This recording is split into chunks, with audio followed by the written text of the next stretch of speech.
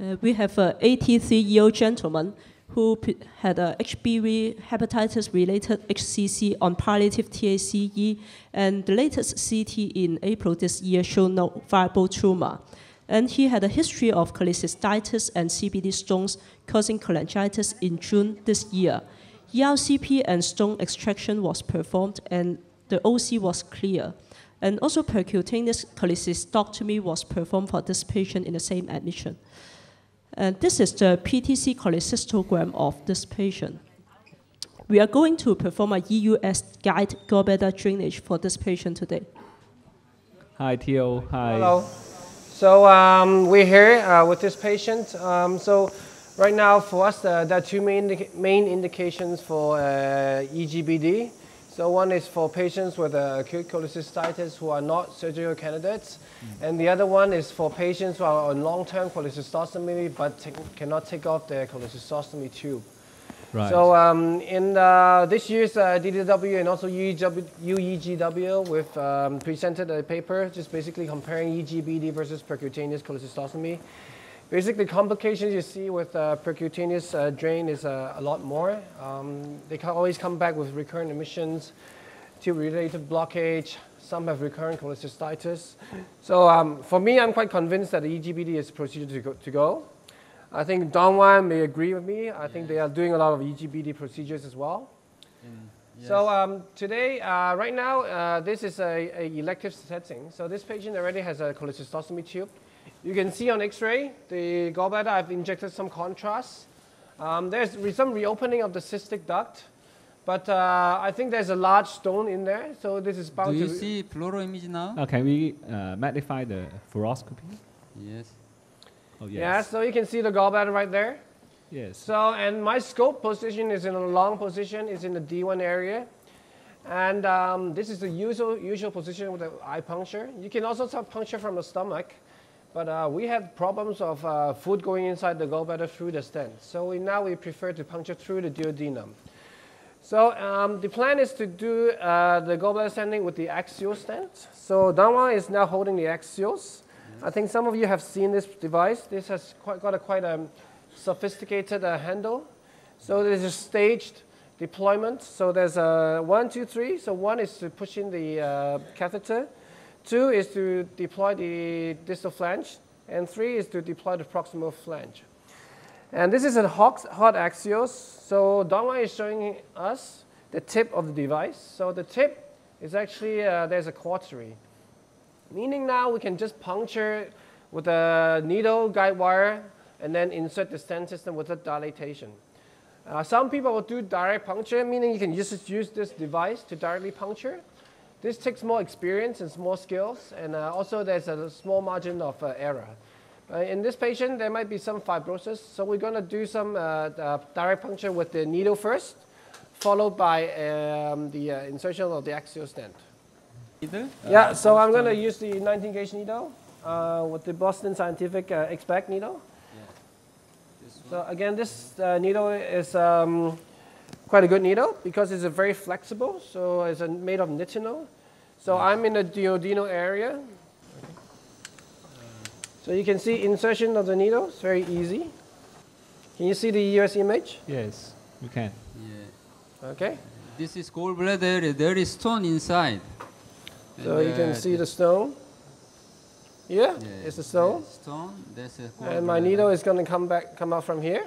Yes. Okay, so I'm going to start puncturing now. Okay.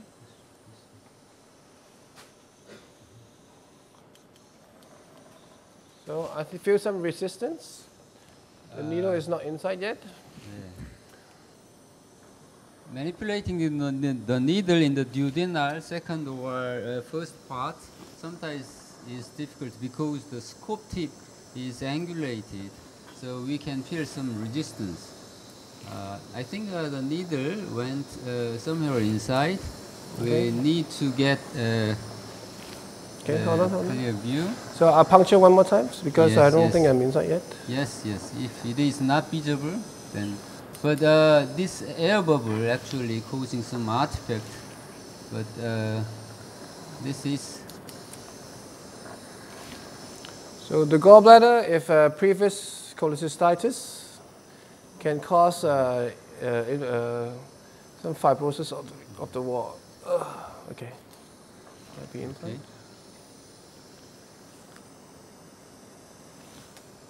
So th- this side, this side, yes. Remove needle slowly. Yes, yes. Okay. Maybe I'm inside. Let's see. Do you see fluoro imaging now? Yes, can we switch to fluoro now? Maybe not. So sorry. Sometimes gallbladder is a little floppy. When you puncture it, the wall actually uh, bounce back.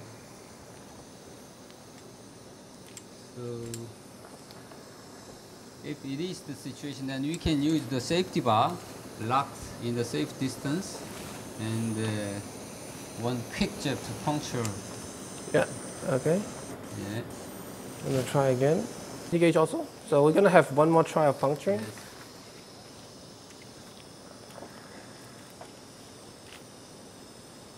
That's good, that's good. Okay. Okay.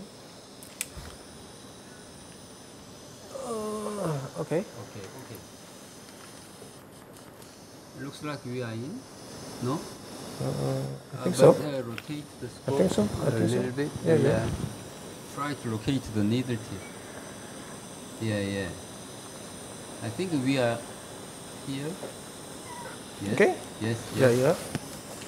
We can inject some contrast and see the fluoro image whether the contrast is going inside. Yeah, I think so.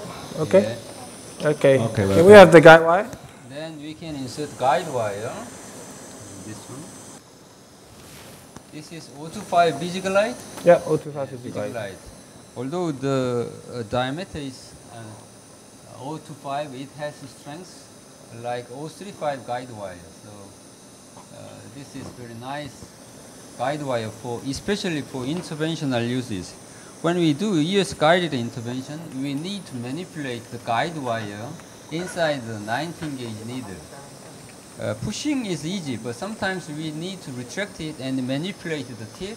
But in, during that process, the guide wire sheath can show some shearing of uh, phenomenon. So, but this guide wire is uh, very thin, uh, do not show those kind of phenomenon. So I think this is uh, probably the ideal guide wire for use guided intervention. Yeah, I think so. Okay, so um, we're gonna exchange. Yes. Now the guide wire is inside the gallbladder. He made uh, two, three coils inside the gallbladder and uh, try to keep the guide wire in Okay. place and remove the 19 gauge needle.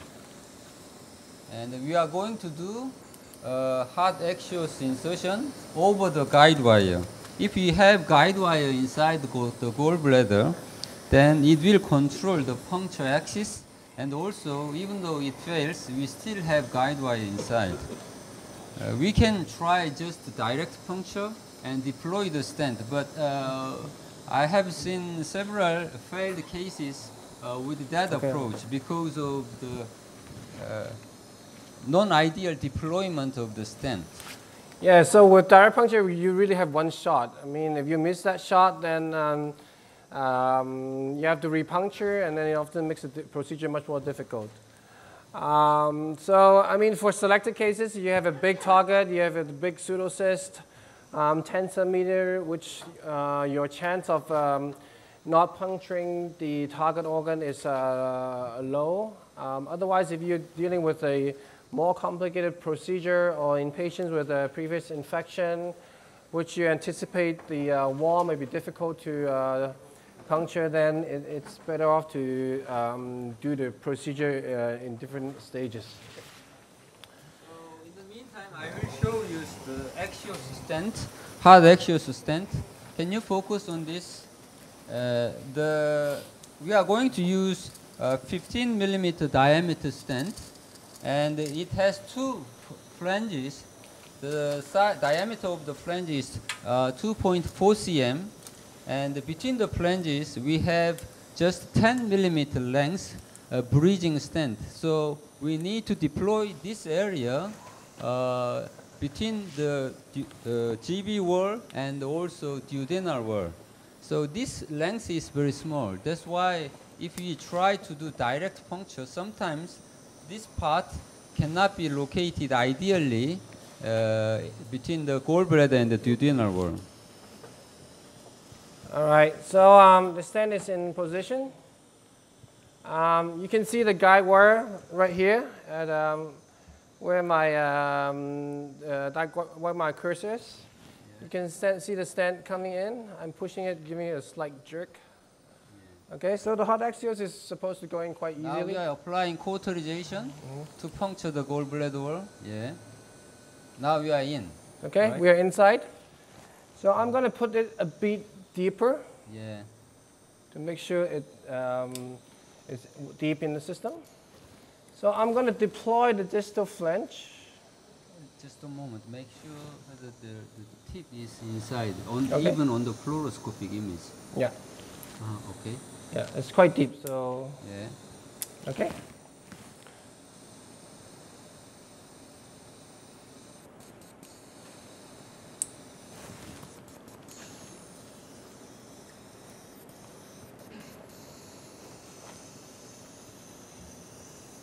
So you can see the stent here. Yes. Yes.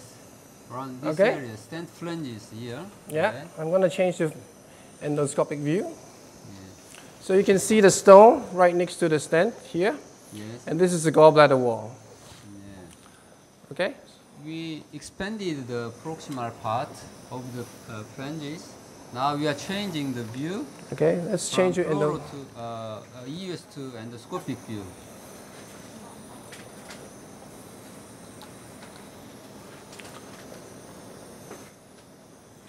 Okay. So now you see the stent coming into view. Yes. Okay. On this side. I'm going to pull back the stent a little bit so you can see more of the black mark. Yes. And then I'm going to lock. Again, I'm going to open the stent. You can see the stent here. Yes. Yes. And I'm going to push out the stent from the. We can see stent mesh here. Yeah. Okay. Okay. Now it's deployed. So the We can see bile is coming Yeah. from the gallbladder. Yes. Okay. Oh, So- excellent too. With the hot Axios device, can we leave this guide wire inside here? Yeah. I'm going to dilate up the stent a little bit because it's not open yet. Okay.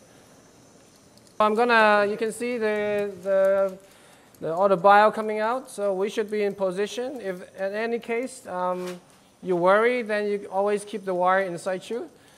Um, and uh, I'm gonna dilate up the stent slightly to which diameter? So this device is up to 15, but I usually don't dial it up all the way to 15 because sometimes it can cause uh, some tearing of the um, uh, wall. And uh, usually it takes only one day for the stent to completely open. But um, now it's quite small, so I dial it up to 10. Mm -hmm. Yes. So, CLE, yes. Any questions from the floor? Uh, this is Peter Cotton here. Uh, no question. I just uh, uh, really amazed to watch that procedure. I've never seen it done before. Thank you. Congratulations. So I think um, this is uh, really uh, one of the newer procedures of U.S. biliary drainage. Um, I'm quite optimistic that it will become the procedure of choice as compared to percutaneous. Yes. Um, I'm a surgeon, so to think about to replace uh, cholecystectomy is a little bit counterintuitive, but uh, maybe, maybe 10 years later. And uh, if necessary, we can go inside the gallbladder cavity and uh, we can apply uh, electrohydraulic lithotripsy to fragment the stone and Yeah. remove the stone. So uh, we also presented in DDW. One of our junior colleagues uh, presented the initial experience of um, what we call a cholecystoscopy. So basically, um, doing a putting an OGD scope through the stent into the gallbladder. So the stent diameter is up to 15, which means the scope introduction it was quite uh, it's quite easy, and uh, we could go inside, take a look. Okay. So which means you can go inside gallbladder, um, do a lithotripsy removal of stents, uh, stones, and then uh, either leave the stents in situ or remove it. And uh, we also had one patient who had uh, incidental gallbladder carcinoma, which was not detected on CT. And uh, for the first time, I mean, we were able to see this sort of pathology uh, endoscopically. So it was quite an exciting experience for us. So, okay, can we dilate? Um, I think some of the colleagues in China, they are also doing this sort of procedure. Um, and uh, even the polypectomy uh, was possible within the gallbladder. So this is really opening up a new world of um, advanced uh, gallbladder interventions through this uh, portal. So till I'm waiting for a gallbladder EST next year from you. Yeah, we'll leave that to Michael Bourke. So if we find a gallbladder uh, adenoma, we'll leave it to Michael. Okay, thank you. do almost uh, most of the procedures from inside. Now from outside, uh, we don't like puncturing our skin and uh, get an access to the uh, uh, inner viscera from the skin. We can do most of the procedures uh, from inside, from gut, and also we can create this kind of beautiful fistula, and we can go in this fistula later. All right, so you can see the gallbladder mucosa right there. Yes. I'm not going to insert the scope. Uh, Later we can apply, uh, apply NBI or endomicroscopy, endocytoscopy, so we can detect minute changes or dysplastic changes of gallbladder. Okay, Yes, Theo, I think uh, uh, uh, Professor Sao is almost finished Yes, EST. We- Okay, we- we- we're uh, done we'll- also. We'll leave you So, here. Thank you very thank you. much. Thank you.